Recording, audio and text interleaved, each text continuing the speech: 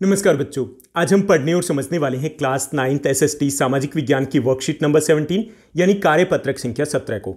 यह आपकी 17 अगस्त 2021 की वर्कशीट रहेगी और आज की वर्कशीट भी काफ़ी इजी इंटरेस्टिंग रहने वाली है, जिसमें हम ज्योग्राफी भूगोल का सेकंड चैप्टर भारत का भौतिक स्वरूप पढ़ना जारी रखेंगे और उसमें हम बात करेंगे द्वीप समूह की, कि भारत में कौन से प्रमुख द्वीप समूह पाए जाते हैं, उन दोनों द्वीप समूह की क्या प्रमुख विशेषताएँ हैं और कैसे वो एक दूसरे से अलग हैं, ये सब कुछ हम इस वर्कशीट में समझने की कोशिश करेंगे। तो चलिए शुरुआत करते हैं आज की इस वर्कशीट की। सबसे पहले हम इनकी लोकेशन देखते हैं। तो भारत के जो द्वीप समूह है, उनको हम दो भागों में बांट सकते हैं। यानी कि कितने भागों में बांटा जा सकता है? दो भागों में।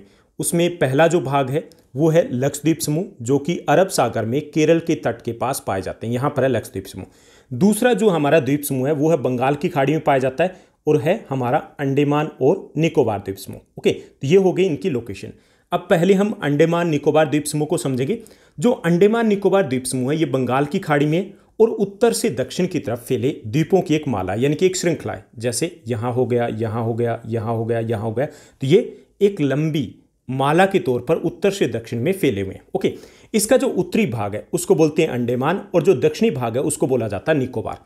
इनके निर्माण की बात की जाए तो अल्पाइन काल की जो वलन प्रक्रिया वलन प्रक्रिया मतलब दो प्लेटें टकराई है, उनके टकराने से इसका निर्माण हुआ है, इन द्वीप समूह का निर्माण हुआ जैसे कि हिमालय का निर्माण हुआ, ठीक उसी तरीके से इन द्वीप समूह का निर्माण हुआ है। हालाँकि ये भी माना जाता है कि ये द्वीप समूह जलमगन पर्वत श्रेणियों के शिखर हैं।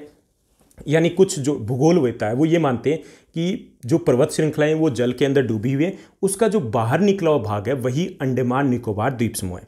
ये देश की सुरक्षा के लिए काफ़ी महत्वपूर्ण है, क्योंकि अगर हम बात करें पूर्वी भारत की, दक्षिणी पूर्वी भारत की तो यहाँ पर सैनिक दृष्टि से ये काफ़ी महत्वपूर्ण होते हैं। दूसरा, ये जो हमारे पादप और जंतु है, उनकी विविधता के लिए भी काफ़ी महत्वपूर्ण है। यानी कि हमारे फ्लोरा और फोना की बात करें, वन और वन्य जीव की बात करें तो उसके लिए काफ़ी महत्वपूर्ण है। तीसरा, पर्यटन की दृष्टि भी, से भी ये काफ़ी महत्वपूर्ण है। यानी यहाँ पर हज़ारों लाखों की संख्या में पर्यटक है, वो देश विदेश से हर वर्ष यात्रा करते हैं। तो ये तीन कारणों से महत्वपूर्ण है। महत्वपूर्ण है, हमारे देश की सुरक्षा के लिए महत्वपूर्ण है। दूसरा, ये हमारे वन तथा वन्य जीवों के लिए इंपॉर्टेंट है। और तीसरा, ये पर्यटन की दृष्टि से भी काफ़ी इंपॉर्टेंट है।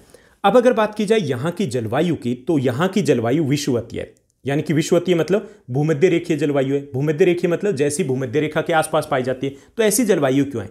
ऐसी जलवायु का कारण ये कि ये विश्वत रेखा के निकट है। भूमध्य रेखा उसके थोड़ा ज़्यादा पास है तो इसलिए यहाँ पर भूमध्य रेखीय जलवायु पाई जाती है। तो भूमध्य रेखीय जलवायु कैसी होती है? जहाँ पर तापमान भी वर्ष भर अधिक रहता है और साथ साथ वर्षा भी अधिक होती है। तो यहाँ पर भी तापमान भी अधिक रहता है और वर्षा भी अधिक होती है और इसके कारण यहाँ पर घने जंगल पाए जाते हैं, क्योंकि जहाँ पर टेम्परेचर ज़्यादा होगा और वर्षा अधिक होगी तो वहाँ पर पेड़ों की ऊंचाई वो अधिक होती है। ओके ऐसा ही कुछ यहाँ पर है।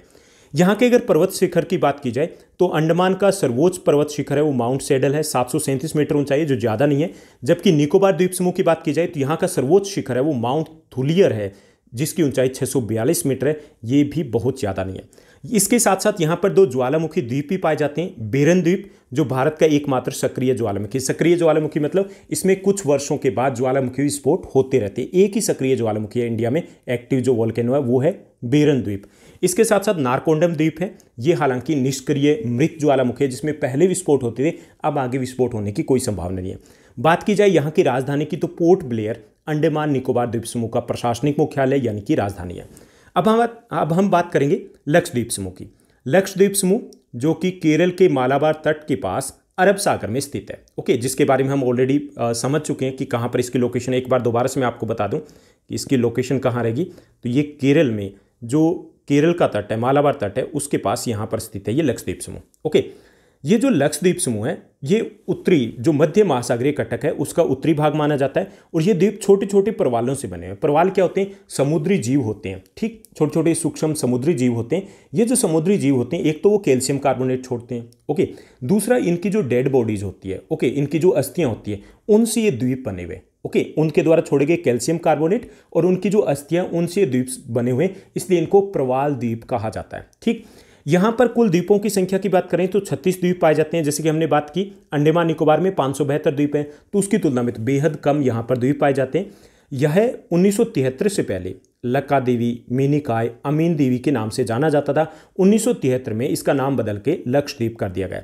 यह कुल बत्तीस वर्ग किलोमीटर के क्षेत्र में स्थित है और यहाँ की राजधानी है, वो कवरती है। यानी कि कवरती यहाँ का प्रशासनिक मुख्यालय या फिर यहाँ की राजधानी है। यहाँ पर भी अगर बात की जाए तो क्यों महत्वपूर्ण है? ये भी वन तथा वन्य जीवों की दृष्टि से काफ़ी इंपॉर्टेंट है। साथ ही साथ ये जो द्वीप समूह है, ये भी पर्यटन की दृष्टि से भी काफ़ी इंपॉर्टेंट है। अब हम बात करते हैं परवाल के, जिसके ऊपर हमने बात की थी। परवाल क्या होते हैं? परवाल पोलिप्स कम समय तक जीवित रहने वाले सूक्ष्म प्राणी होते हैं। सूक्ष्म जीव होते हैं, समुद्री जीव होते हैं, ओके? और ये कम समय तक जीवित रहते हैं। ये आमतौर पे समूह में पाए जाते हैं। समूह कितना? सैकड़ों का हो सकता है, हज़ारों का हो सकता है, उसमें ये मिलते हैं। और इनका विकास कहाँ होता है? यानी ये कहाँ पर विकसित होते हैं? जैसे छिछला, साफ़, जो गर्म जल होता है, वहाँ पर ये विकसित होते हैं, ठीक? ये कैल्शियम कार्बोनेट छोड़ते हैं और इनके द्वारा छोड़े गए कैल्शियम कार्बोनेट और जो इनकी अस्थियाँ होती है डेड बॉडीज कह लीजिए, उनसे टीलों का निर्माण होता है। तो ये तीन प्रकार के टीले बनते हैं। एक तो परवाल रोधिका होगी, वो बनती है। ओके रोधिका मतलब इस तरीके से, जो दीवार की तरह होगी। दूसरा हो गया तटीय परवाल भित्ति जो तट से जुड़ी होती है, वो जो तटीय परवाल भित्ति कहेंगे। तीसरा परवाल वल्य परवाल वल्य होता है, जो गोलाकार या फिर होर्स के शू के आकार के होते हैं। ओके ओके, इस प्रकार के हो सकते हैं। तो इस प्रकार के जो टीले हैं, या फिर परवाल भीतियाँ हैं, उनका निर्माण होता है इन परवालों के द्वारा। हमारा जो लक्षद्वीप समूह है, वो इन्हीं परवालों के द्वारा निर्मित है। यहाँ पर एक एग्ज़ाम्पल दिया गया, जैसे ऑस्ट्रेलिया का जो ग्रेट बैरियर रीफ है, वो परवाल रोधिका का ही एग्ज़ाम्पल है। इसी तरीके से जो परवाल वल्ले है, वो द्वीप गोलाकार या फिर होर्स घोड़े की नाल के आकार का वाले होते हैं। कई जो द्वीप समूह है, वो इस आकार के भी पाए जाते हैं। ये बात हुई अंडेमान निकोबार द्वीप समूह की, और बात हुई लक्षद्वीप समूह की। अब हम बात करते हैं सेकंड सेगमेंट की, यानी कि प्रश्नोत्तर की। आज की इस वर्कशीट पर आधारित पाँच आसान से प्रश्न दिए गए। पहला जो हमारा प्रश्न दिया गया, परवाल क्या होते हैं? हमें बताना है परवाल किसे कहते हैं? तो परवाल पोलिप्स कम समय तक जीवित रहने वाले सूक्ष्म प्राणी है। इनका विकास छिछले, गर्म जल में होता है। ये जीव सैकड़ों, हज़ारों के समूह में रहते हैं और काम करते हैं। ये कैल्शियम कार्बोनेट छोड़ते हैं। कैल्शियम कार्बोनेट और परवाल अस्थियों से समुद्र में टीलों का निर्माण होता है, यानी कि जिससे द्वीप समूह बनते हैं। ओके तो ये हो गए परवाल पोलिप्स क्या होते हैं? अब हम बात करेंगे सेकेंड क्वेश्चन की, दूसरा हमारा प्रश्न दिया गया। दूसरा प्रश्न भी काफ़ी आसान है। भारत में कौन कौन से द्वीप समूह हैं? उनके हमें नाम लिखने और भारत के राजनीतिक मानचित्र पर इनको दर्शाना है। तो भारत में दो प्रमुख द्वीप समूह हैं। पहला लक्षद्वीप समूह, जो कि अरब सागर में स्थित है। दूसरा अंडमान निकोबार द्वीप समूह, जो कि बंगाल की खाड़ी में स्थित है। अब इनको हमें मानचित्र पर भी दर्शाना है। तो आप मानचित्र को अपनी नोटबुक में पेस्ट कर सकते हो या फिर आप साउथ इंडिया के मानचित्र को ड्रॉ भी कर सकते हो। आसानी से आप ड्रॉ कर सकते हो, मुश्किल नहीं रहेगा। तो यहाँ पर चलिए देखते हैं कहाँ पर हमारा लक्षद्वीप समूह। तो ये देखिए, ये है हमारा लक्षद्वीप समूह। ओके, जो कि केरल के मालाबार तट के पास स्थित है। और यहाँ पर हमारा हो जाता है अंडेमान निकोबार द्वीप समूह, जो कि उत्तर से दक्षिण में फैला हुआ है। इसका उत्तरी भाग है वो अंडेमान कहलाता है, दक्षिणी भाग है वो निकोबार कहलाता है। तो आप इन दोनों को लोकेट करना है। आप मैप को पेस्ट कर सकते हो अपनी नोटबुक में या फिर इसी मैप ऑफ़ इंडिया को ड्रॉ करके इनको दर्शा सकते हो। अब हम तीसरे प्रश्न की बात करेंगे, तीसरा हमारा प्रश्न दिया गया लक्षद्वीप समूह की प्रमुख विशेषताएँ हमें बतानी है। तो पहली चीज़, लक्षद्वीप समूह वो अरब सागर में स्थित है, यह द्वीप परवालों से निर्मित है, तीसरा इसमें छत्तीस द्वीप शामिल है और कवरती यहाँ की राजधानी है। ओके, इतना लिख दोगे काफ़ी रहेगा। उसके बाद चौथा हमारा प्रश्न दिया गया, चौथा प्रश्न है, अंडमान निकोबार द्वीप समूह की जलवायु कैसी और क्यों है, ये हमें बताना है। तो अंडमान निकोबार द्वीप समूह है, उसकी जलवायु विश्वतीय यानी कि क्या है? भूमध्य रेखी है। ओके भूमध्य रेखी भी कह सकते हो। क्यों है? क्योंकि यह विश्वतवृत्त या फिर भूमध्य रेखा के पास स्थित है। तो जैसी जलवायु भूमध्य रेखा पर पाई जाती है, वैसी जलवायु यहाँ की है। ओके उसके बाद पांचवा प्रश्न है, द्वीपों पर जीवन कठिन क्यों होगा? यह माना जाता है कि द्वीपों पर जो जीवन होता है, वो कठिन होता है, क्यों होता है? तो संसाधनों की विविधता का अभाव होता है। यहाँ पे संसाधनों की विविधता नहीं पाई जाती। यानी कि जैसे हम देश की बात करें तो विशाल क्षेत्र में फैले होते हैं तो यहाँ कई प्रकार की विविधता पाई जाती है। यानी बहुत सारे संसाधन मिलते हैं। वहाँ पर ऐसा नहीं होता, एक ही प्रकार के संसाधन ज़्यादातर पाए जाते हैं। दूसरा, यातायात के साधनों का सीमित विकास होता है। एक स्थान से दूसरे स्थान पर जाना इतना आसान नहीं होता क्योंकि उतने ज़्यादा विकास वहाँ पर नहीं होता। द्वीप है, वो एक दूसरे से दूर स्थित होते हैं। ओके, तीसरा, वहाँ पर महँगाई ज़्यादा होती है।